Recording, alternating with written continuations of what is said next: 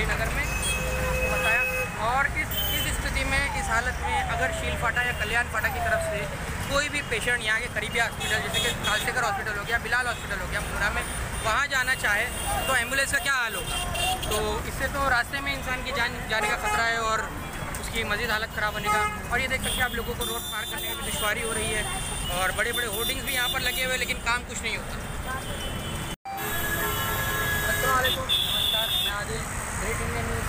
आपका स्वागत करता हूँ। और हम इस वक्त मौजूद हैं मुमरा के शिवली नगर में, जहाँ पर जो ट्रैफ़िक का मसला काफ़ी हद तक बढ़ चुका है। कई दिनों से यहाँ पर काम चालू है टीएमसी की तरफ़ से जैसे आप देख सकते हैं। मैं कैमरा मैन से कहूँगा कि पीछे यहाँ देख सकते हैं काम चल रहा है। और ये देखिए ट्रैफ़िक ट्रैफ़िक इस कदर है कि लोग मजबूरी में आउटसाइड से जाने के लिए परेशान है। इसके अलावा आप ये देख सकते हैं यहाँ पर। कई दिनों से काम चल रहा है पर। outside, हाँ। आउटसाइड की तरफ़ आप सामने देख सकते हैं रोड पर किस तरह से आउटसाइड से लोग आने पर मजबूर है बाइक सवार। और बड़ी गाड़ियाँ भी यहीं से गुजरती हैं। तो इसमें आप देख सकते हैं कि हादसा होने का कितना खतरा है। इसके अलावा रोड पर आप देख सकते हैं कि गड्ढे भी कितने हैं। कचरा भी पड़ा हुआ है वहाँ पर। वो गंदगी अलग है। हाँ इससे दूसरी जो प्रदूषण बढ़ रहा है बढ़ रहा है आलूगी बढ़ रही है वो भी अपनी तरफ़ है। और देखिए किस तरह काम नहीं चल रहा है। तो यहाँ के लोगों को बहुत परेशानी का सामना है इसकी वजह से। और कभी कभी तो ऐसा होता है कि इस रास्ते पर से आपको गुजरना है तो इस ट्रैफ़िक से निकलने के लिए आपको कम अज़ कम आधा घंटा तो कहीं नहीं गए यहाँ से निकलने। तो आइए हम इस मसले पर यहाँ के कुछ स्थानीय लोगों से बात करते हैं। तो बताएँगे कि यहाँ और मेरी तरफ़, मेरे पीछे अगर आप गौर से सुनेंगे तो तो गाड़ियों का हॉर्न भी आप सुन सकते हैं। इससे आपको पता चलता है कि यहाँ के यहाँ से गुजरने वाले तो है ही और जो बाहर से आते हैं और यहाँ के स्थानीय लोगों को भी कितनी परेशानी होती है। परेशानी है। ट्रैफ़िक भाई ये रोड बन रहा है ना। से बड़ी परेशानी है।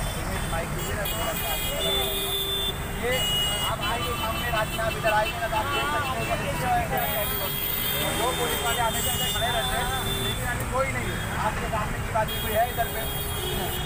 और कचरा पड़ा हुआ ये कौन ला के डालता है? ये कचरा इधर के जो म्यूनसिपल ये जो है ना इधर के लोग हैं वो लोग लाके डालते हैं। हैं। मैं ये जानना चाहता हूँ प्रशासन से कि आप लोग किसी के पास हेलमेट नहीं है या कुछ भी चीज़ नहीं है तो उसका बराबर चालान काट देते हो।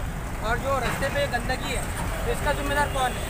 और जैसे कि आप देख रहे हैं रास्ते पे खड़े भी कितने हैं। आप देख सकते हैं किस तरह से लोग यहाँ पर परेशानी होती है लोगों को। अभी देखिए किसी ने अभी ने भी ये भी कहा है कि यहाँ पर कचरा भी है और ये बिल्डिंग बनने की वजह से परेशानियाँ भी हो रही है यहाँ पर। और ये रिक्शा पार्किंग की वजह से भी होती है। रुको इनको रुको इनको रुको दो मिनट। दो मिनट। बोलो। यहाँ की ट्रैफ़िक जो है यहाँ पर जो इतना ट्रैफ़िक हो रहा है आप लोगों को क्या परेशानी है? आप क्या बोलना चाहोगे?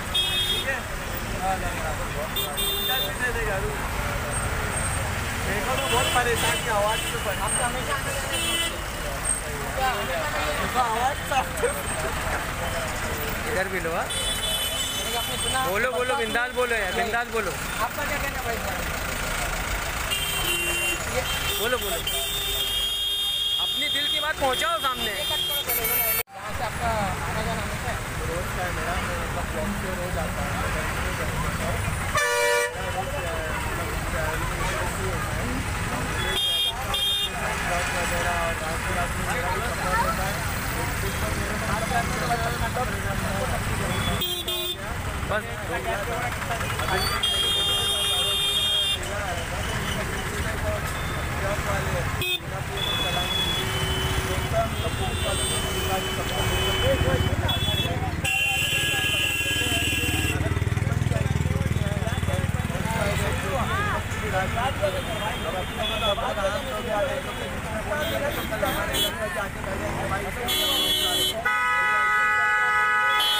चलो पीछे दिनों से चल रहा है। एक एक एक ये मसला तो भाई अभी तो मैं यहाँ मेरी एक शेयर की है।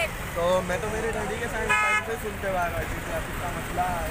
तो वो लोग निकाले मार्केट वालों ने ट्रैफ़िक का जो था मार्केट वालों को निकाले चलो अल्लाह का करम है कि मार्केट में तो लगी तो नहीं रहा हाँ हमारे इधर के तो बहुत अच्छी बात। लोगों ने कही और जैसे आपने देखा यहाँ पे श्रीनगर नगर के पास ट्रैफ़िक का पहले बहुत चला था कि ट्रैफ़िक फ्री मुंडा ट्रैफ़िक फ्री मुंडा। लेकिन अब ट्रैफ़िक फ्री मुंडा के बाद शायद तो अब एक नया आएगा।